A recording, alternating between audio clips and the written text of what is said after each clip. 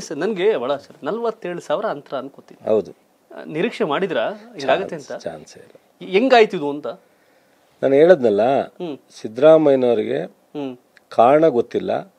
Last year ಅವ್ರು ತಗೊಂಡಂತ ಕೆಲವು ತೀರ್ಮಾನಗಳು. ಸರ್ಕಾರದ ಕಡೆ ಐದು ವರ್ಷ ಏನ್ ಮಾಡಿದ್ರು ಅವೆಲ್ಲವೂ ಸಹ ದೂರ ಹೋಗಿ ಚುನಾವಣೆಯಲ್ಲಿ ಅವ್ರಿಗೆ ಸಮಸ್ಯೆ ಆಗ್ಲಿಕ್ಕೆ ಕಾರಣ. ಒಂದು ಒಕ್ಕಲಿಗರ ವಿರೋಧಿ ಅಂತ ಪಣ ಕಟ್ ಪಟ ಕಟ್ಟಿದ್ರು. ಲಿಂಗಾಯತರ ಧರ್ಮದ ಕೈ ಹಾಕಿದ್ರು ಅಂತ ಅದ್ರ ವಿರೋಧಿಯಿಂದ ಕಟ್ಟಿದ್ರು. ಸೊ ಆಮೇಲೆ ಅಧಿಕಾರಿಗಳೆಲ್ಲ ಒಂದು ರಿಸರ್ವೇಷನ್ ವಿಚಾರದಲ್ಲಿ ಅವರಿಗೆ ಸುಪ್ರೀಂ ಕೋರ್ಟ್ ಆದೇಶ ಜಗನೆಷ್ಟು ಒಂದು ತೀರ್ಮಾನನ ಅನಿವಾರ್ಯ ಮಾಡಬೇಕಾಗಿತ್ತು ಅವತ್ತು ಕ್ಯಾಬಿನೆಟಲ್ಲಿ ಮಾಡಿದ್ರು. ಅದರದ್ದು ಅವ್ರಿಗೆ ಪಟ್ಟ ಕಟ್ಟಿದ್ರು. ಅವರನ್ನ ಎಷ್ಟೆಷ್ಟು ಯಾವ್ಯಾವನ್ನ ಜನರ ವಿರುದ್ಧದ ತೋರಿಸ್ಲಿಕ್ಕೆ ಸಾಧ್ಯ ಅದೆಲ್ಲನೂ ತೋರಿಸಿದ್ರು. ಅದೆಲ್ಲ ಆಗೂ ಅವ್ರು ಎಂಬತ್ತು ಸೀಟ್ ಬಂದ್ರು ಅಂದ್ರೆ ಬಹುಶಃ ಈ ಒಂದು ಮೂರ್ನಾಲ್ಕು ಇಶ್ಯೂನೆಲ್ಲ ಅವ್ರು ಏನಾದ್ರೂ ಸ್ವಲ್ಪ ಎಚ್ಚರಿಕೆಯಿಂದ ಮಾಡಿದಿದ್ರೆ ಅವ್ರು ನೂರೈವತ್ತು ಸೀಟ್ ತಗೊಂಡ್ರು.